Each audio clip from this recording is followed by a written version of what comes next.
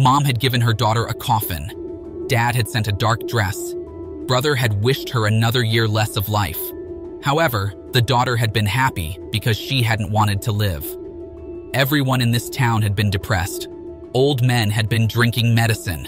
Working stiffs had been hanging themselves. People had been lining up to jump. The light had turned green, and a man had walked onto the road. The driver had driven by indifferently, and the cop had written a ticket and walked away. Because in small towns, if you leave in public, you get a hefty fine. So the hospice business had been born. Customized ropes, high voltage chairs that killed with one blow, guillotines that could be used by three people, half price poisons, and superb after sales service to make sure you got the results you needed. It had been a century old store with all kinds of tools and not a single bad review because all the customers they had served were dead.